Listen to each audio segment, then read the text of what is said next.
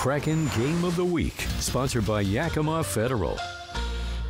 All right, there are two sides to every coin. After winning three in a row, the Kraken struggled last week to get that fourth consecutive win. Apple Valley News Now's Dan Hanson joining us to tell us which game this week you should pay attention to. You can hear the collective sighs from the Kraken faithful, as it was a rough few games for the Seattle Kraken, losing their last three and being outscored 11 to 6 in those three games. The team is not out of the woods yet, as they travel to Toronto for a matchup against the Maple Leafs, a team Seattle hasn't had much success against.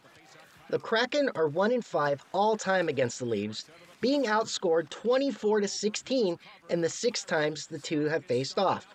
Currently, the teams match up well against each other, both with a record of 4 4 and 1. The Kraken are tied for fifth place in the Pacific Division with 9 points where the Leafs are in fourth place in the Atlantic Division, again with nine points.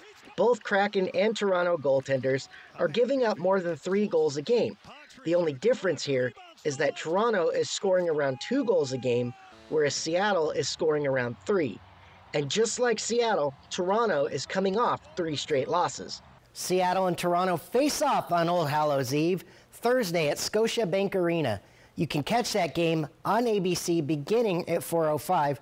And don't forget, Apple Valley News Now is your home to the Seattle Kraken.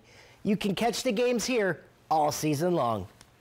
Dan Hanson, Apple Valley News Now.